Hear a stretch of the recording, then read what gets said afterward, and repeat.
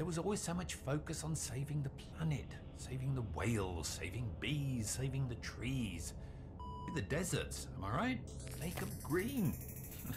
I knew it was over when those idiots deliberately tried to flood parts of the Sahara with one species of tree. I mean, come on. A publicity stunt by a French paper manufacturer with deeper pockets, and no one blinked an eye. It was meant to help, but the Sahara Tree Project literally poured salt into the wound. It started out well enough, but some unknown fungus wiped them all out, but not before they had sucked all the fertile phosphorus out of the sun blowing over the Atlantic, effectively salting the Amazon basin like an Italian grandmother making tomato sauce. And then there was no turning back. Deserts are why we exist at all, you know. Now as much as then, so history repeats itself. Paraphrase geologist William Grayboe, the ancestors of modern man did not leave the trees, the trees left them.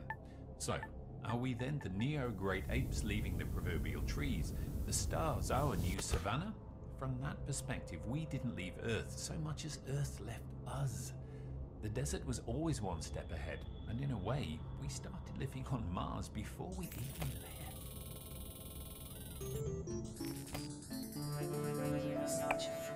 Ah, yes, not all of us up here pine for the fjords.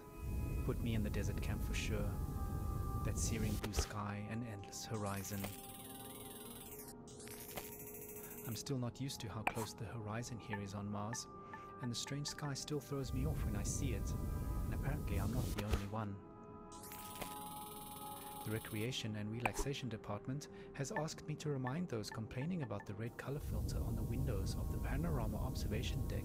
The sky on Mars is not blue, but salmon pink. So please bear that in mind when submitting your request to visit the outer domes. And also bear in mind that the waiting list is now double months long, so book early for the experience.